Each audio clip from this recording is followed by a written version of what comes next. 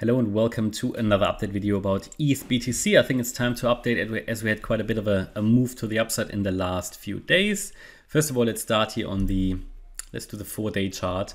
Um, just to highlight the way I count it since the beginning, I'm counting it as a wave one to the upside.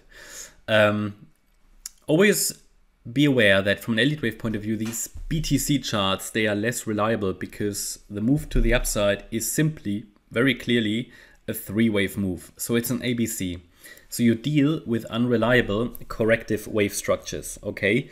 So that's always a bit of a problem because it could of course mean that three waves up, oh dear, what does that mean? It could be just a corrective wave followed by an impulse to the downside. Now, as you can clearly see, the move down is not impulsive. You also have a three wave structure. So you have three waves up, you have three waves down, uh, but the three waves down, they created a higher low. So that's why I'm counting it as a 1-2 setup. So the wave 1 would basically be the first wave in an even larger leading diagonal. At least that is how we can count it. Um, or, and that's the other option, this could just simply be an A wave, the move down, a B wave, and with a C wave to come. But even that should lead to a long-term uptrend. So as long as, and but only then, as long as, and that's the condition, this wave 2 low stays intact, and that is at, a 0.01655. Now, it's quite a distance, but as long as that stays intact, the overall uptrend is in play. And that's why I count the current move to the upside a third wave. You could also argue it's a C wave, yeah, doesn't make a great difference. But uh, the thing is, as a C wave, I couldn't count it as an ABC. But as a wave 3, I can count it as an ABC because the wave 1 would be an ABC, the wave 2 well, it is the WXY in this uh, structure, but it's a corrective structure. The wave 3 would be a corrective structure. The wave 4 would be, it's not in the chart here, and the wave 5, which would be even higher. And all of that would create a wave 1 in an ideal case, okay? So what we're looking for here, I mean, it could be an ABC, as I said, but then this would be a 1, this would be a 2, this would be a 3. Um, that is not so important at the moment. What is important at the moment, if we zoom in, um, we look at because we assume that wave 2 bottomed here, that was in August 2019 at 0.016 something, um, that this was wave 2 low, we assume we are now in a third wave to the upside. In a third wave, we have obviously the subwave structure, but within that, you know, within this A wave, we have five waves. So I'm counting this as a wave 1, where we topped in August 2020, we bottomed in December 2020 in a wave 2, then rallied in a third wave in here, May 21, came down in a fourth wave and we could now be in the fifth wave, basically the last wave of this A wave. And in this last wave of the A wave, we are looking currently at, I probably need to go to the four hour chart for that. Yeah, we're looking at the, uh, as an, at, one second. I need to zoom out a bit further, otherwise it's hard to see. Also here, we're looking at an ABC and we've probably completed an A wave. We are now looking at a B wave, probably not complete yet, and then a C wave to the upside.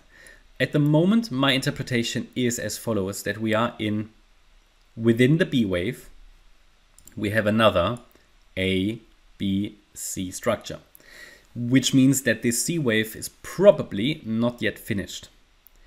Um, we're looking here at ideal targets for the C wave between here 0.0611 and 0.0533. This would be ideal, yeah, with um, actually the 0.0577 level being the ideal one. To be honest, I think I might need to extend it out further down looking at the subwave structure and that the fact that the 1.618 extension is 0.047. So this is sort of the range between 0.0611 and 0.04787. In this range, I would expect the B wave to bottom. We can be able to, we, we can be a bit more specific the closer we get, yeah? So we'll be able to narrow it down a little bit. Um, at the moment, I'm rather, I would rather be looking at the lower half of this support box for a trend reversal in a C wave. From a practical point of view, that means that Bitcoin should outperform Ethereum over the coming weeks still.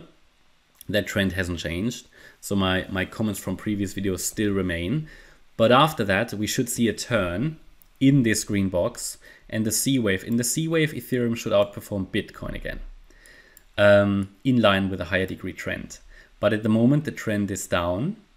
But within this downtrend, we have a very, very small uptrend, as you can see. So we had a triangle pattern in a B wave that probably broke to the downside. At the time, I did warn you about that. We came down quite a bit, found support, reversed for now, but this move up is currently only in three waves, is in resistance, resistance for this wave too. So it's basically the idea is that we are now in a C wave to the downside. That is a five wave move. We probably just now complete a wave one and a wave two. So we're now in the wave two, which is an ABC structure. And in this ABC structure, in the C wave, we might get one more squiggle here to the upside. Because also there, in the C wave, we want to be able to count five waves. So wave one, two, three, four, five. Um, that view is valid as long as we stay above 0.0648. Getting below that would favor a direct breakdown. But until, as long as we're holding that, I'd be looking for one more wave to the upside, possibly targeting 0.0678, 0.0692, and 0.0711. 0.0711 is key resistance. A break above that level would make this particular scenario less likely, and it could then be that we're already in a breakout because a wave 2 should not retrace more than the 78.6 Fibonacci retracement. So these are the key levels that are relevant. At the moment, my preference would be for it to continue to the downtrend, get one more wave to the upside before continuing the higher level trend to play out this C wave to the downside. But then eventually somewhere here, it should turn around to continue the even higher degree trend, which is actually up. So hopefully that makes sense, which means in the very, very, very, very short term, Ethereum should outperform Bitcoin a little bit. Then Bitcoin, Ethereum for the coming weeks, and then probably for the remainder of the year, Ethereum, Bitcoin. Um, you will have noted that uh, on the looking at the charts, I mean, Ethereum is above all the March highs. That Ethereum clearly outperformed Bitcoin over the last week or so. Um, I guess if we get this move down and Bitcoin starts to outperform Ethereum again, that could be the moment when Bitcoin breaks out to the upside. That's pure speculation at this stage, but it would add up nicely with the USD charts. Okay, that's my update about ETH BTC at the moment. I hope you liked the update. If you did, please hit the like button, leave a comment and subscribe. And if you really like the content, then please check out the channel membership. Thanks a lot for watching. Bye bye.